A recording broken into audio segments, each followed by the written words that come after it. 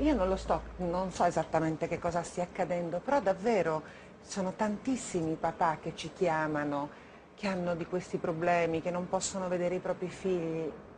Io vorrei veramente che le mamme che ci ascoltano si mettessero una mano sulla coscienza. Noi scegliamo di separarci da uomini magari che non amiamo più, i nostri figli non, non la fanno questa scelta, la subiscono, non è giusto metterli in mezzo, un bambino deve comunque poter sempre frequentare sia la mamma che il papà per poter crescere sereno. Avete sentito anche in questa storia una mamma che lo maltratta fisicamente sempre che sia vero, non so, eh, così sembrerebbe dagli atti, un bambino a cui viene vietato di vedere il padre, un bambino che viene portato in tribunale e deve dover testimoniare contro uno dei genitori, credo che sia veramente una crudeltà che nessun bambino al mondo dovrebbe mai vivere. E queste storie forse servono proprio per farci riflettere tutti quanti.